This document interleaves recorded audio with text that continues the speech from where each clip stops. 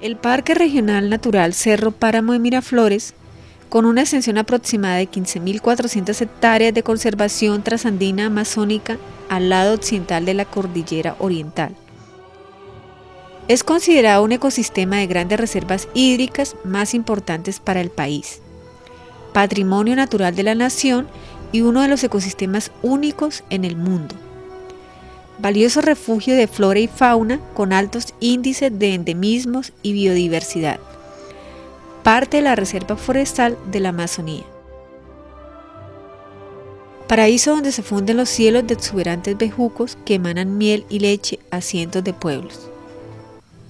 En sus alturas nacen varios ríos y quebradas que recorren los municipios de Gigante, Algeciras y Garzón además de algunas fuentes hídricas que descienden al departamento del Caquetá. La importancia del Cerro Miraflores radica en que es fuente de innumerables aguas, vertientes entre las que cuentan los ríos Blanco y Guayas, al igual que las quebradas Santa Lucía, El Toro, La Honda, El Pescado y Río Loro.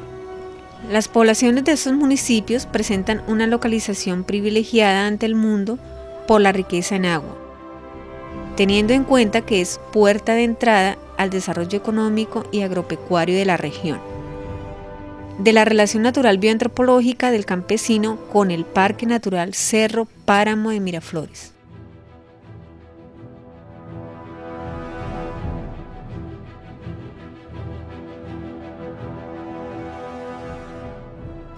En esa región no solo se respira aire puro, sino también paz. Ahora toda esa maravilla presenta una situación de riesgo que es alarmante y confusa. Potencial que amenaza la existencia de esa gran riqueza natural que contribuye al sostenimiento de cientos de familias.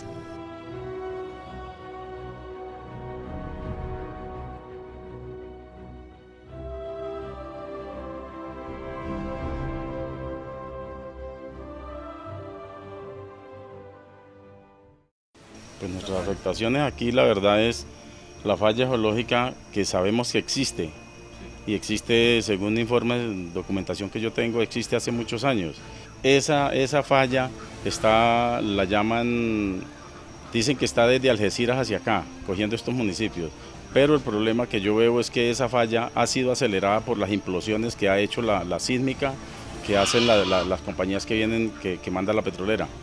Entonces nosotros nos estamos viendo afectados por ese detalle, porque sencillamente las casas se nos están derrumbando, las fincas se nos están deteriorando, todo se nos está acabando y nosotros no tenemos, no hay quien nos escuche.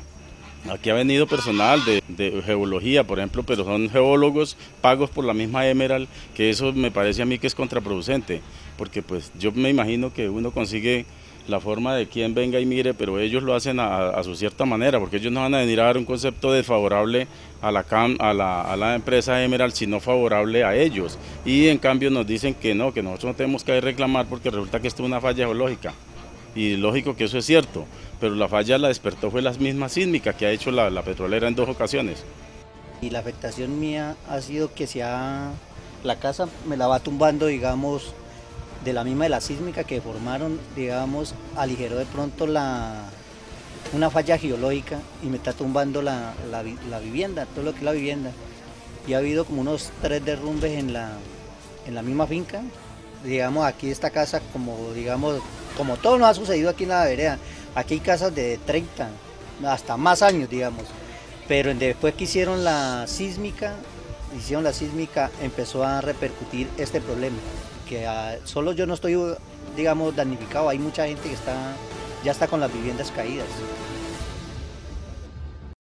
Esta región viene siendo explotada por compañías petroleras desde años atrás.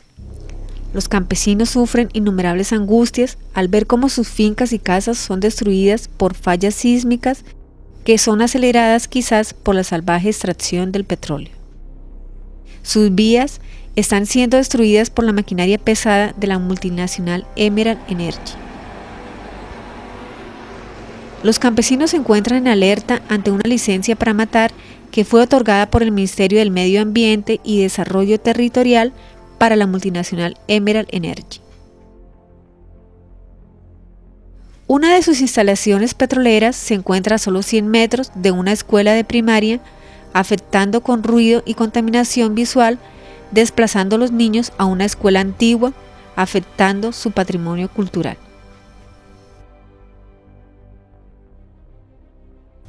Pues eh, yo veo la afectación más inmediata para nosotros en cuanto al ruido, porque pues en la parte de abajo donde teníamos que estar laborando eh, se siente más el ruido y, además pues también el peligro con los niños que con el transporte pesado y perjudica la educación con los niños.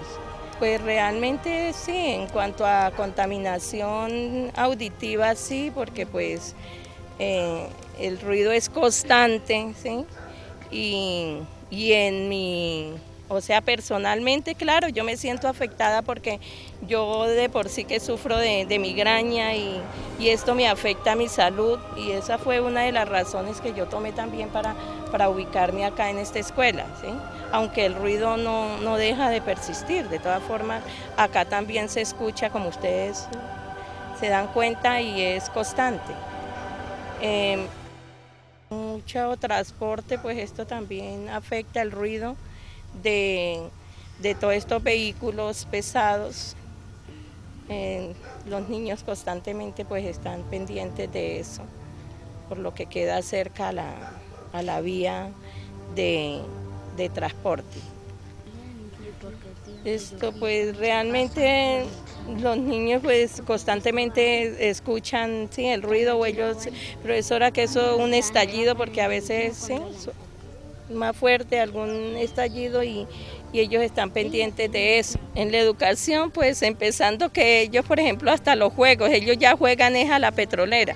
Ellos aquí el juego de ellos es a la petrolera y abriendo carretera y ya, por ejemplo, ahí ya tienen huecos y, y traen los carritos que traen son mulas y sí, o sea, eh, culturalmente ellos realmente ya cambiaron sus juegos tradicionales, ya tienen otro juego, por ejemplo, ellos juegan a la petrolera, que a los turnos, que a, todo lo que ven aquí en el ambiente, en el medio.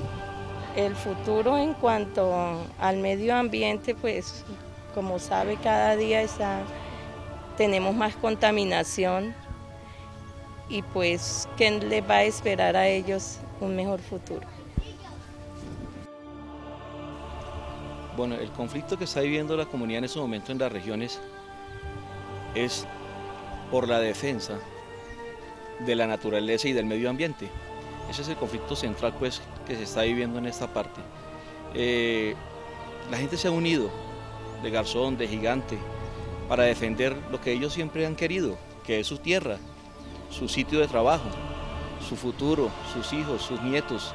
Ese es el centro principal pues de la lucha que se está haciendo en esta región, en contra de los intereses económicos de algunas empresas petroleras que quieren explorar en esta, en esta zona pues tan hermosa como ustedes han visto en estos momentos y la pelea se centra y la lucha se centra pues en la defensa de su territorio, más que todo en la defensa de la naturaleza, del agua, del aire. Ese es el centro pues de la lucha que ellos están haciendo. Y nosotros pues como educadores de la región nos vemos comprometidos pues con este trabajo porque somos docentes de los muchachos que viven en, en este sector y por lo consiguiente tenemos que estar vinculados también en la actividad de la defensa de los recursos naturales que están en este sitio tan hermoso. Y la gente que vive por acá es una gente que tiene una cultura que es netamente agrícola, ellos no son eh, con cultura minera, así que ellos no viven de absolutamente nada de la minería, ellos aprovechan su, tierra, su clima, su agua para poder sobrevivir con sus cultivos. Así que este es el centro eh, de acopio eh, y de producción agrícola del departamento del Huila y de la región de Gigante y de Garzón. Y no vamos a ceder un milímetro. No sé qué va a pasar. O sea, si nos manden a matar, pues que nos maten. Pero nos vamos a defender como la leona defiende sus cachorros. Que se nos vulnere nuestra región, que se nos acaben nuestras aguas, que se nos acaben estas bellezas que nos quieren acabar.